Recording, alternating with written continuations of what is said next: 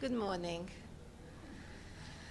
We, the Security Council signatories of the shared commitments on women, peace and security, Ecuador, France, Guyana, Japan, Republic of Korea, Sierra Leone, Slovenia, Switzerland, the United Kingdom, the United States of America, and my own country, Malta, reaffirm our commitment to fully and meaningfully integrate the WPS agenda in all aspects of our work and to amplify and support the crucial work of women peace builders and human rights defenders.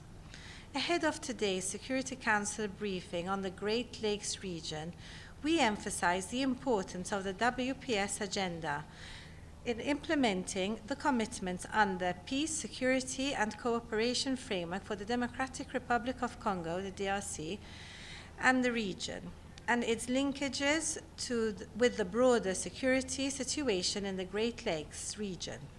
We commend UN Special Envoy of the Secretary General for the Great Lakes region, Mr. Huang Xia, for promoting women's inclusion in regional political processes and welcome the recommendations from the meeting held in Nairobi on 17th April on this critical priority. Despite the disproportionate impact of the conflict in eastern DRC on women, they have not been fully associated to regional peace efforts despite encouraging steps in this regard.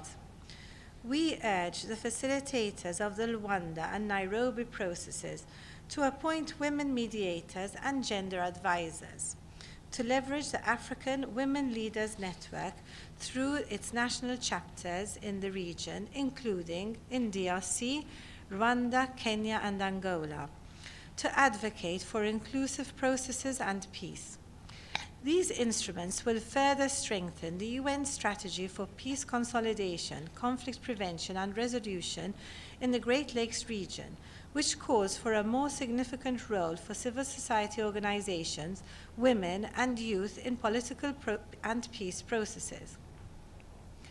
We further urge the guarantor institutions and signatory countries to engage with the African Union Special Envoy for Women, Peace and Security and the co-chairs of FemWise Africa, the AU network of women mediators, to create special measures and mechanisms for ensuring more inclusive processes that ensure women's full, equal, meaningful, and safe participation in the revitalized regional oversight mechanism.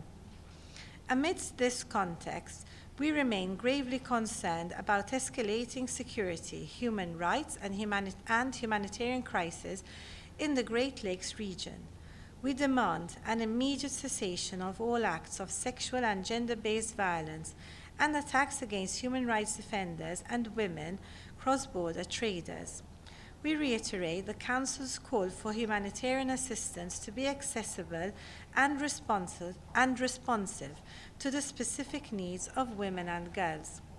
All countries in the region and all parties to the conflict must abide by the Maputo Protocol to the African Charter on Human and People's Rights on the Rights of Women in Africa we reaffirm the UN's Special Envoy's call to accelerate the implementation of the Kampala Declaration on Sexual and Gender-Based Violence, together with national and regional strategies for advancing the WPS agenda. In the context of the International Conference on Great Lakes Region, the Economic Community of Central African States, and Peace, Security and Cooperation Framework for the DRC.